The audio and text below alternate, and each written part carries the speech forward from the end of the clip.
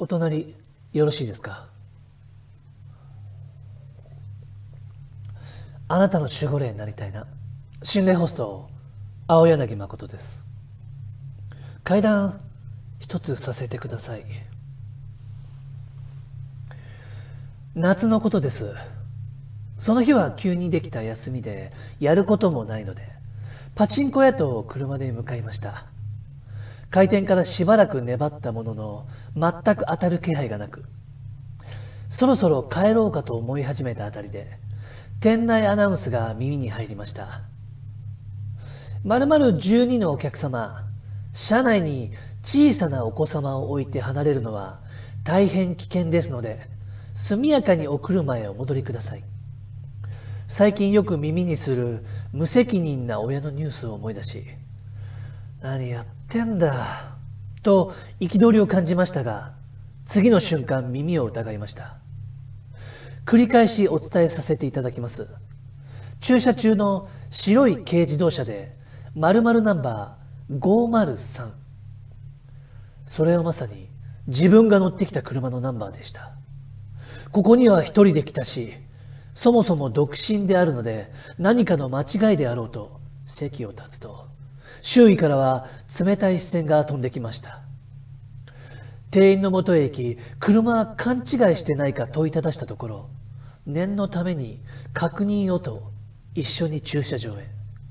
車内に子供がいると店員に伝えたらしい客や野じ馬が遠巻きに見ているのは確かに自分の車。しかし鍵を開け中を見せても当然子供などいるはずもありません。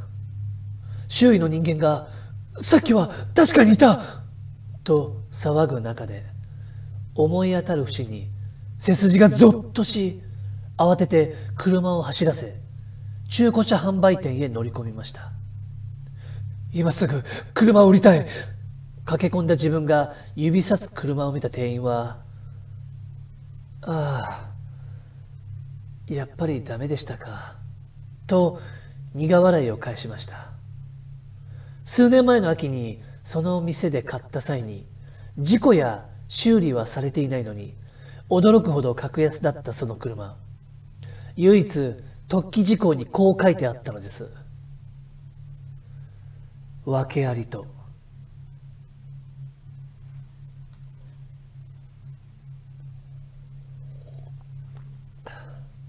あなたの守護霊になりたいな心霊ホスト青柳誠でした。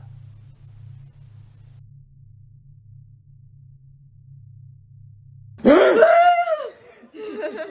りした。あはいまあそんなこんなで。そんなこんなで。せーのこのチャンネルが。ちょ、わかんないんだよ、言ってくれてたから。あじゃあ私が言いますね。はい。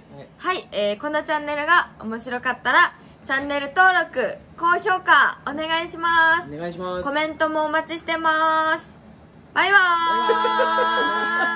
ーイ。こんな感じ。どうぞどうぞ